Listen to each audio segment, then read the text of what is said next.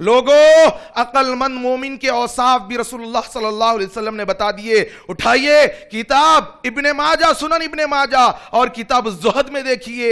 मोहम्मद बिन माजा रहिमहुल्लाह, अल्लाह के नबी सल्लल्लाहु अलैहि वसल्लम की हदीस नकल करते हैं। अब्दुल्ला इब्ने उमर अन्हुमा इस रिवायत के रावी है, इस हदीस के रावी।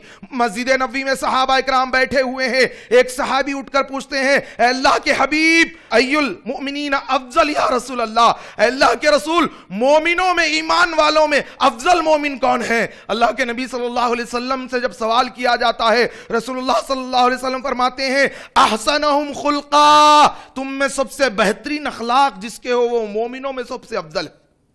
सवाल करने वाला दूसरा सवाल करता है, अल्लाह के हबीब आप पर हमारे माँ बाप कुर्बान। ये बताइए कि मोमिनों में अकलमंद मोमिन कौन है? किसकी अकल का मैार सबसे ज़्यादा है? अल्लाह के नबी सल्लल्लाहु अलैहि वसल्लम फरमाते हैं, लोगों सुनो, मोमिनों में अकलमंद मोमिन वो है जो मौत को कसरत से याद करता है और मौत से पहले मौत की तैयारी कर लेता है।